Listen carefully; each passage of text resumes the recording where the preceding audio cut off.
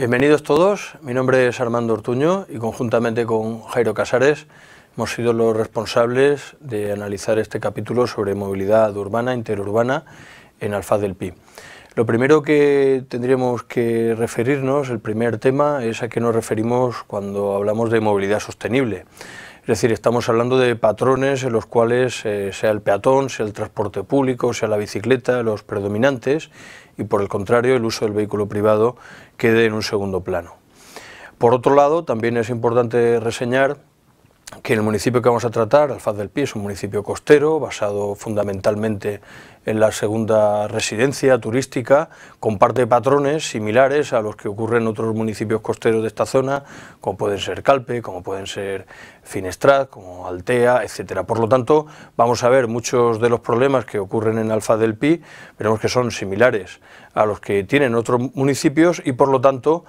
las soluciones, las alternativas de intervención que vamos a proponer también pueden ser aplicables a, estos otros territorios.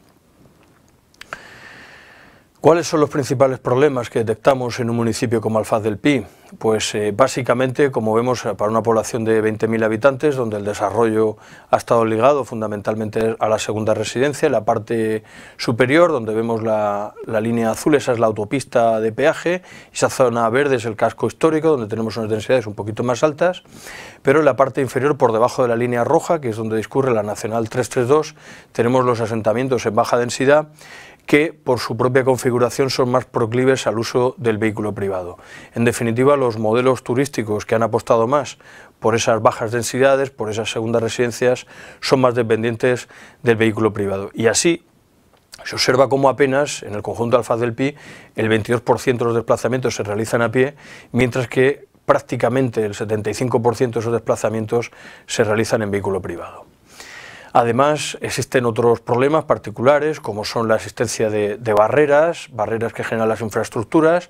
La AP7, la parte norte, también divide de otras urbanizaciones que quedan al norte de esa autopista del casco urbano tradicional, pero también la Nacional 332, la línea roja, y el tranvía, que es la línea gris que vemos paralela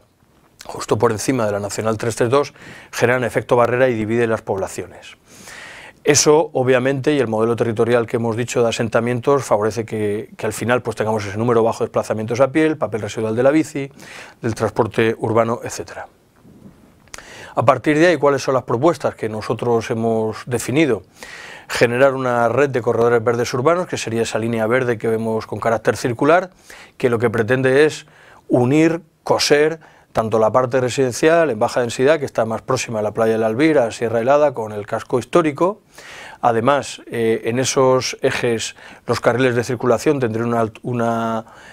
una, anchura muy estricta para que la velocidad de circulación de los vehículos privados eh, fuera mínima y por tanto se pueda facilitar que convivan con las bicis, con el desplazamiento a pie, es decir, lo que se llamarían infraestructuras blandas. Además, planteamos potenciar las dos estaciones de tranvía, que son las que vemos con esos dos puntitos naranjas, y ese área de influencia que vemos de esas estaciones con el círculo azul, lo que nos están señalando son los, los ámbitos en los cuales nosotros proponemos que los desarrollos urbanísticos futuros se concentren en ese entorno. ¿Con qué objetivo? Con el objetivo de que puedan canalizar esas demandas y que sus empleados, los residentes, etcétera, de esas zonas puedan llegar en tranvía hasta esos lugares y por tanto reducir el uso del vehículo privado. Además, lo que proponemos es que en el centro de los, o en los cascos que tenemos actualmente desarrollados se favorezca la peatonalización de espacios, una mayor convivencia con el peatón, con la bicicleta y se desarrollen los, los estacionamientos periféricos donde el usuario debería dejar su vehículo privado para acceder a pie a esos centros en distancias que precisamente por el tamaño que tiene, por ejemplo, el casco histórico de Alfaz, es perfectamente factible y por lo tanto ganar espacio para el peatón y para la movilidad sostenible. Por último, la propuesta obviamente de potenciar los servicios de transporte público urbano que conecten, que vertebren todas las zonas residenciales del municipio y que además consigamos paradas en el entorno de las estaciones de, tranvía, de las paradas de tranvía, para que se fomente la intermodalidad. Esto es lo que, llamamos como los nuevos desarrollos vinculados al, al Transit Oriented Development, que veis ahí, TOD, que significa que esos nuevos desarrollos estén vinculados a las estaciones del tranvía. Muchas gracias.